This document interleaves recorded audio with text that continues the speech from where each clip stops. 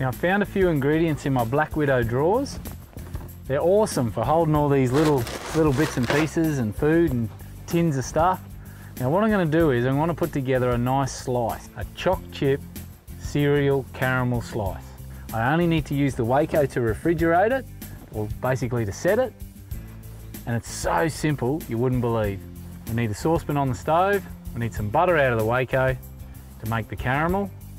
Let's get it happening. Couple of good helpings of butter. So yeah, about that much will do. I'm gonna put some golden syrup in. So a big squeeze of golden syrup, and of course a tin of condensed milk. Or you watch it, it'll go everywhere. And basically on low heat, we're just gonna stir it. Make sure you do stir it because it will burn easily. Don't worry about all the little floating bits that you see in there. They'll all, they'll all come out in the wash.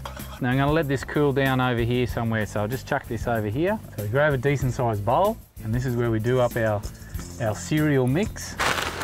So, some cornflakes, bit of a crush up, and stick some rolled oats. These are quick oats, so just a bit of a sprinkle of that one.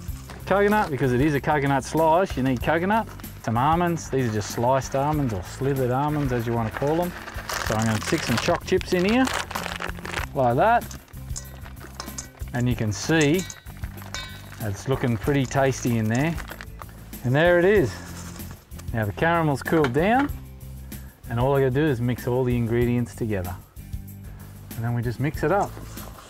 Thoroughly mix it. Otherwise you're gonna have little dry bits or little dry centers in your slice. So you want it nicely mixed up. There we go, it's ready. So I'll tear off a bit of baking paper, whack it in there like that. In she goes with the baking paper. So now I just dob that in there and bash it down. Now that's looking pretty sweet. Make it nice and level. So let's stick that in the fridge. We'll come back, I don't know, an hour, two hours later. It'll be set, nice and hard. We can cut it all up and have a taste. That's looking good. Now it's been about two hours sitting in the Waeco there. Let's get it out and chop it up. Coming out pretty, oh, there we go, look at that.